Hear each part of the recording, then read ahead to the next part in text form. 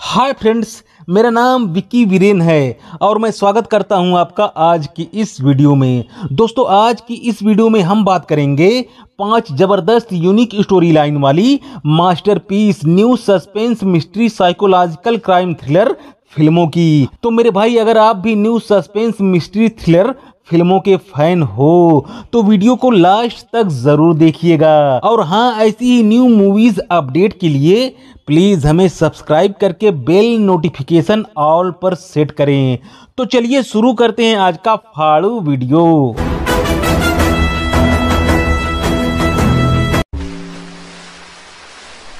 तेईस सितंबर 2022 को रिलीज़ हुई Chup revenge of the artist Hindi language की एक साइकोलॉजिकल क्राइम थ्रिलर मूवी है, जिसके लीड रोल में सनी देओल, दुलकर सलमान और श्रेया धनवंतरी हैं।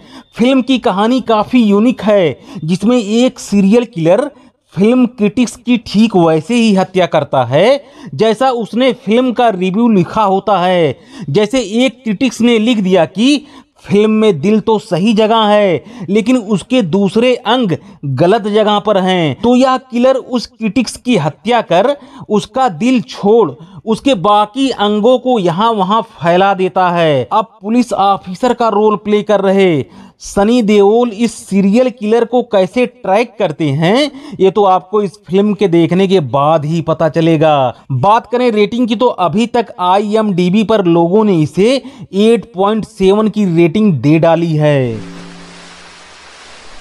8.7 की आईएमडीबी रेटिंग वाली Dhokha round the corner. Hindi language की एक सस्पेंस मिस्ट्री थ्रिलर फ़िल्म है। 23 सितंबर 2022 को ही रिलीज़ हुई। इस फ़िल्म के लीड रोल में आर माधवन, अपार शक्ति खुराना, दर्शन कुमार और खुशहाली कुमार हैं।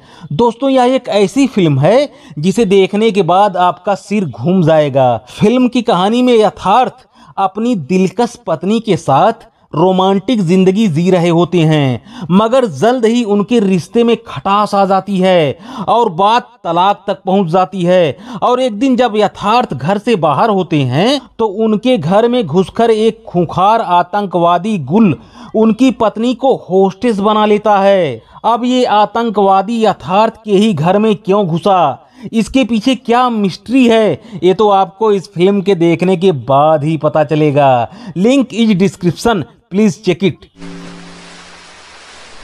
6.5 की आईएमडीबी रेटिंग वाली कोबरा तमिल लैंग्वेज की एक साइकोलॉजिकल एक्शन थ्रिलर मूवी है, जिसके स्टार कास्ट में आपको देखने को मिलेंगे विक्रम, श्रीनिधि शेट्टी और इरफान पठान। जी हाँ ये वही इरफान पठान हैं, जो कुछ समय पहले इंडियन क्रिकेट टीम के ऑलराउंडर प्लेयर हुआ करते थे। 31 अगस्त 2022 को रिलीज़ हुई कोबरा फ़िल्म की कहानी मदी नाम के एक जीनियस मैथमेटिशियन की है, जो अपनी गणतीय प्रतिभा का इस्तेमाल करके विश्व स्तर पर हाई प्रोफ़ाइल लोगों का मर्डर करता है। इंडिया की इन्वेस्टिगेटिंग एजेंसी से लेकर इंटरपोल तक सब उसके पीछे हैं। अब मदी ऐसा क्यों कर रहा है? उसकी क्या मिस्ट्री है? क्या वह पकड़ा जाएगा? इन सारे सवालों का जवाब आपको इस फ़िल्म के देखने के बाद ही मिलेंगे। प्रभुदेवा और वर लक्ष्मी शरत कुमार स्टारर, पोइकल कुथरई, तमिल लैंग्वेज की एक एक्शन थ्रिलर फ़िल्म है। अगस्त 2022 में रिलीज़ हुई इस फ़िल्म को। आई ने 6.9 की रेटिंग दी है। फ़िल्म की कहानी कथिरावन नाम के एक व्यक्ति की है, जिसने एक एक्सीडेंट में अपनी पत्नी और अपना पैर खो दिया है।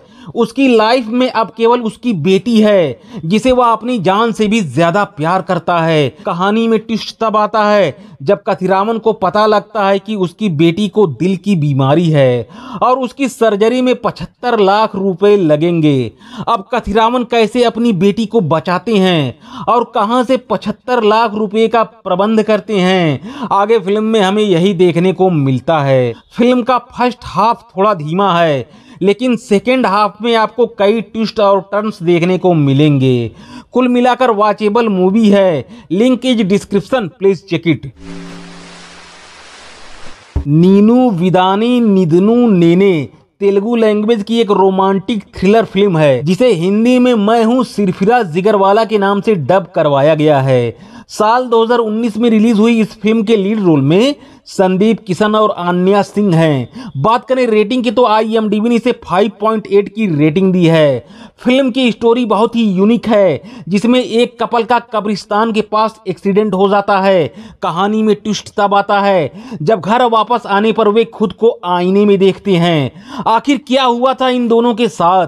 ये तो आपको इस फ़िल्म के देखने के बाद ही पता चलेगा। ओके, माय फ्रेंड्स, इन पाँचों फ़िल्मों में से कौन सी फ़िल्म आपको बहुत अच्छी लगी? प्लीज़ हमें कमेंट बॉक्स में ज़रूर बताएँ। और ऐसे new suspense mystery thriller movie की अपडेट के लिए प्लीज़ हमें सब्सक्राइब करके बेल नोटिफिकेशन ऑल पर सेट करें। थैंक यू, टेक केयर, मिलते हैं नेक्स्ट वीडियो में।